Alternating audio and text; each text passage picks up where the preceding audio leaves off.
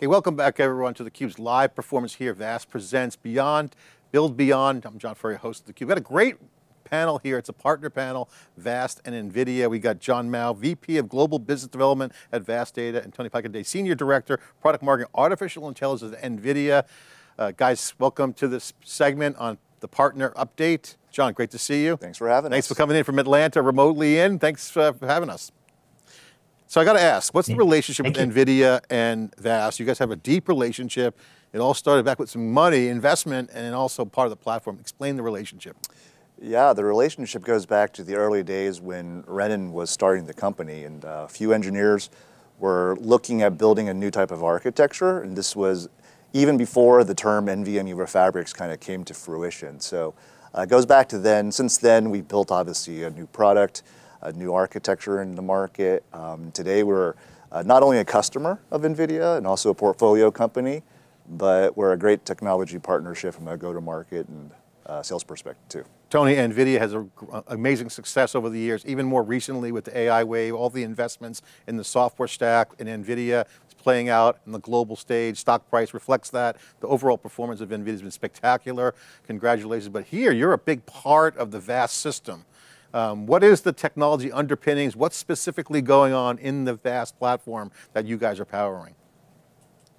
You know, if you think about it, this is a great coming together about leadership class data platform with leadership class um, accelerated computing. I think what we're doing together, and which I'm really excited about, is our ability to take extremely complex AI workloads, deliver them with the fastest time solution possible based on best of breed architecture. Our customers, time and again, have asked us simplify this, give us better performance with scale, better utilization, better productive work capacity for data scientists and developers. And I think that's what this coming together is all about. The work that VAST does mirrors our own design philosophy and how we look at the full AI developer stack um, and what's required to give these teams productive work capacity that can scale linearly with the size of system that's being used. You know, in every market, Tony, there's the market map and the stacks and the different components. What is the AI stack? Because we're seeing uh, the market, even Jeff, the co-founder, was saying we're shrinking stacks and pulling it all together in this platform. What does the AI stack look like today and how does that look like in the VAST platform? And what does that do to enable for customers? Can you take us through that stack? Yeah, I'll, I'll start from kind of bottom up. If you think about, first of all, the infrastructure layer where you have NVIDIA's accelerated computing solutions. So I'm responsible for the DGX platform. That is our flagship, best of breed uh, infrastructure for AI development. Um, so you, if you've heard of a DGX SuperPod as an example, that is, if you will, the the leading capability machine for large language models and generative AI. So that's the bottom of the stack, if you will, the foundation. Um, then you have obviously libraries, drivers, communication primitives. There's a whole lot of engineering that goes on at the software layer to optimize every bit of data that gets processed by that stack to move it between endpoints as fast and with lowest latency as possible. Um, then if you think above that, there's infrastructure management. There's capabilities that allow workloads and their users to request access to resources at the physical infrastructure layer. So you have to have an incredibly uh, automated, intelligent uh, layer or apparatus that can sit above all of that and go between developers who simply want to execute a training job to the infrastructure that has the resources to do that job for them so that the developers don't have to worry about that stuff.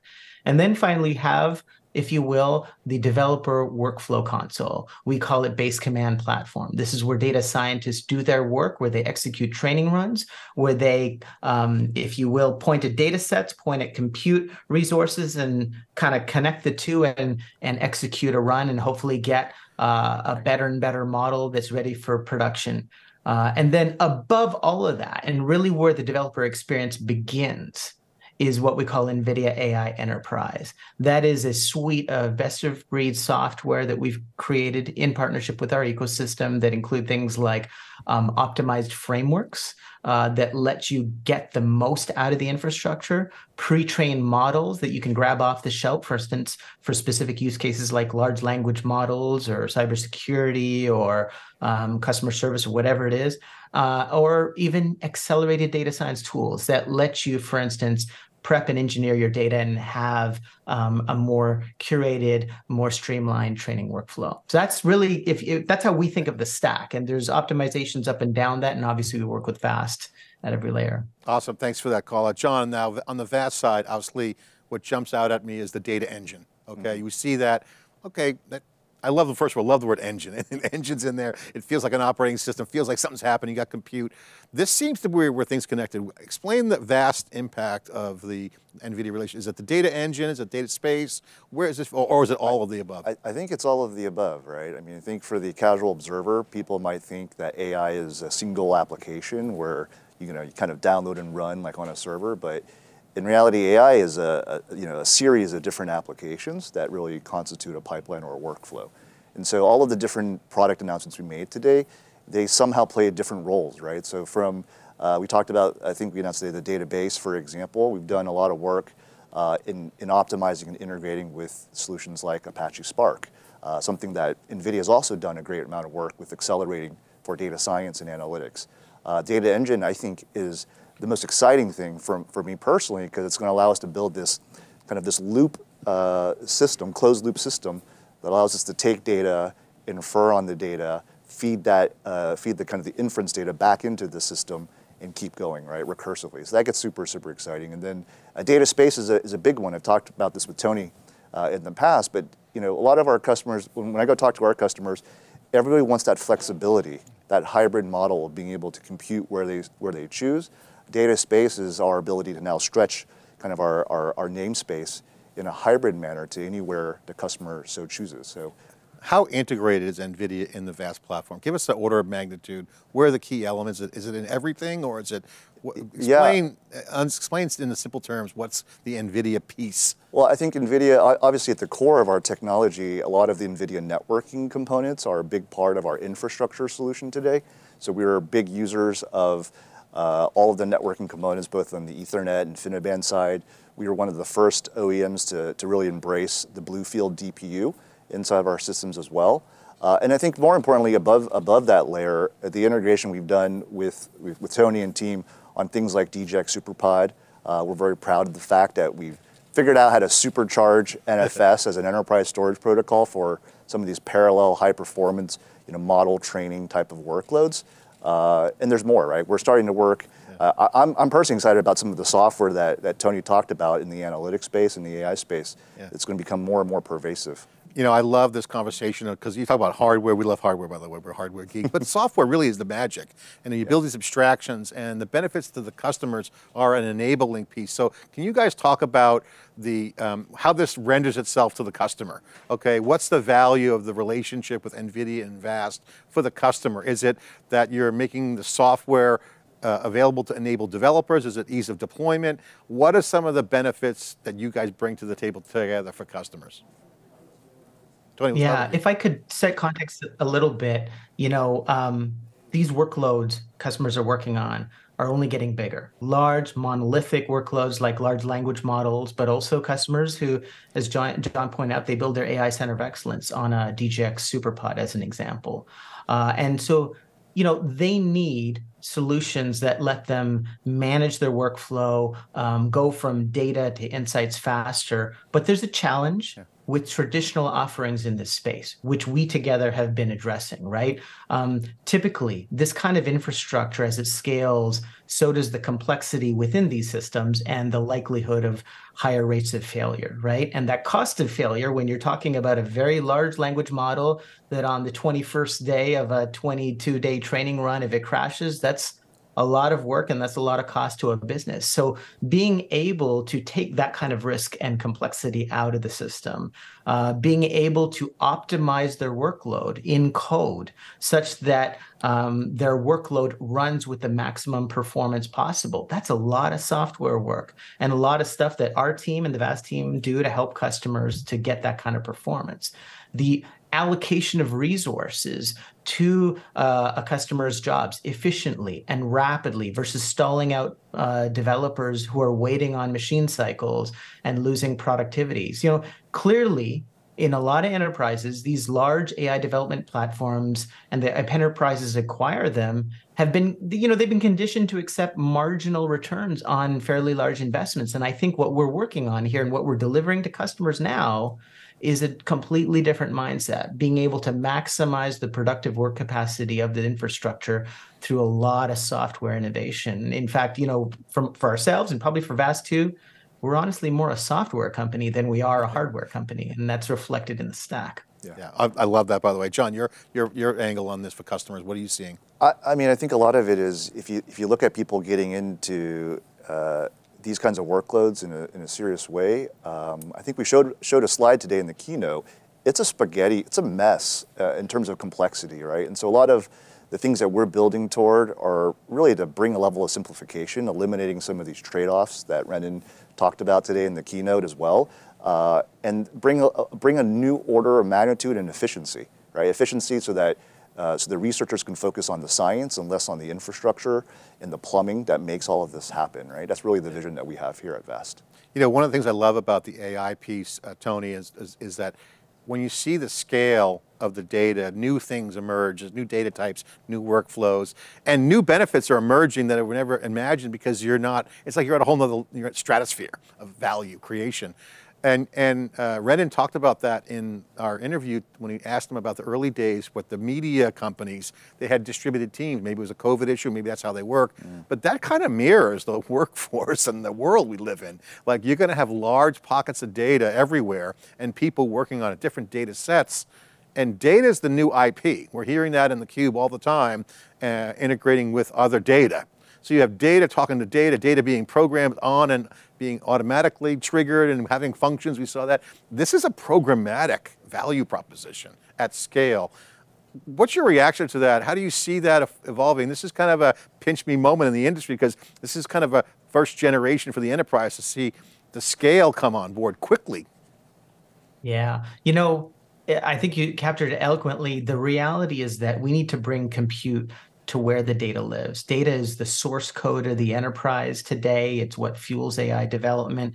And essentially, our customers have been looking for platforms that make it easier to bring the computational power to where that data lives. And that data can live literally anywhere. And customers, uh, for instance, those who've been repatriating a lot of intensive workloads from cloud to on-prem or colocation or other facilities have done that for that very reason, right? To bring the computational capacity to where the work needs to be required. If you have to, you know, desalinize ocean water, it's a lot easier to bring your plant right to where the water is versus having to pipe it, you know, halfway across the country kind of thing. So that it, it rings true for us. And absolutely that's been our focus. There's no point in fighting data gravity. You're going to lose every single time. John, I love the desalination because that's really people, the cleaner the data, okay, the better the AI.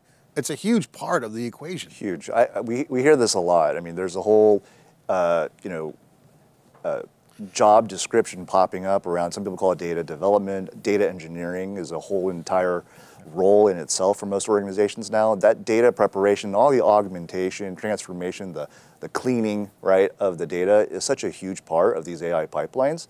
Uh, I think that there's a lot more that needs to be done in industry, but we're, we're taking huge steps.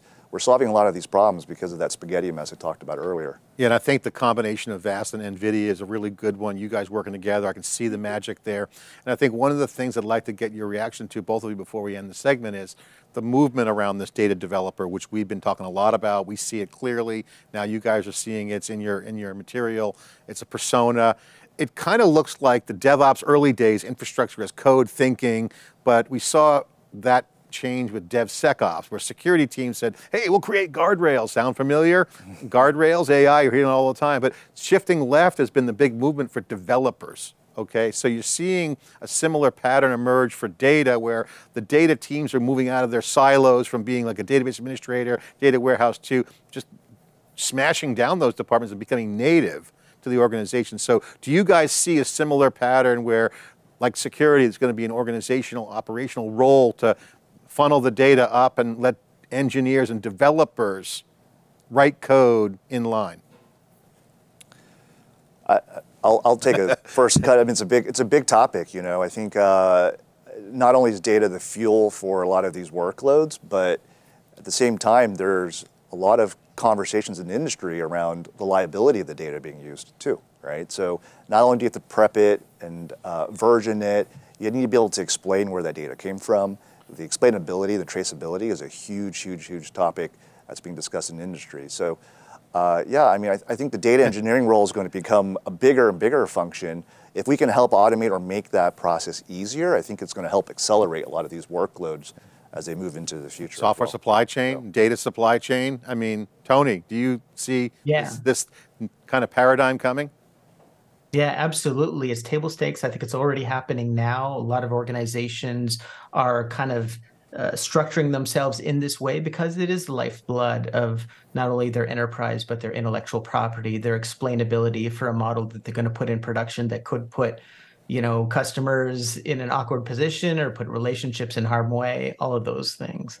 You know, this is really kind of a perfect storm. What we're just kind of riffing here off the cuff here is that people are storing data for legal reasons, compliance reasons, and innovation reasons mm. all at the same time. It's all one use case. Yeah. Hence a platform. This seems to be a kind of a revolution in my mind because uh, this is takes it to the next level because you have data for compliance, you have data for legal, and then innovation was like a like a re- R&D function. But now they're all one. Explainable AI, managing the compliance. I, I think You've seen that? Yeah, I mean, this idea of kind of systems of records or a single source of truth, right, for an organization is becoming more and more important. People have been trying to aspire to, to, to solving this problem historically, and uh, you know, there's lots of different attempts at doing it, but I, I- I don't think it's you know been very feasible to, to run some of these workloads over past legacy approaches, and so Yeah. Yeah, it's becoming more and more important for these organizations for sure. You guys are building beyond. My final question, first of all, thanks for coming on from Atlanta. Appreciate it, Tony. Final question as we wrap. What do you guys talk about when you get together? What's next? I'll let Tony go first. it's funny how much we've done virtually because we've done a ton of work together uh, without necessarily being co-located. But you know, I think when John and I talk, inevitably it turns to this whole aspect of how we're democratizing this stuff, making this mainstream. It's it, it you know, John's been in with us from from years and years ago, and he knows, as I know, that uh, over the course of the last decade, so much of this started and was rooted in science and academia. And no offense to either one of those if you happen to be in that space. But the reality is that right now we have customers day in, day out who are seeing this iPhone moment, who are seeing generative AI and seeing the pragmatic use cases that drive down TCO, that um, increase ROI.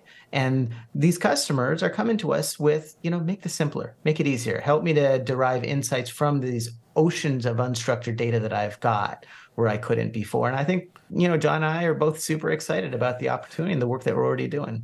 Well, we're looking forward to hearing those news and new announcements and the new features. So, congratulations on your uh, you. your relationship. Thanks for coming on, Tony. Thanks for coming in to the Thank you. Cube Vast Presents event here in Palo Alto. Appreciate it.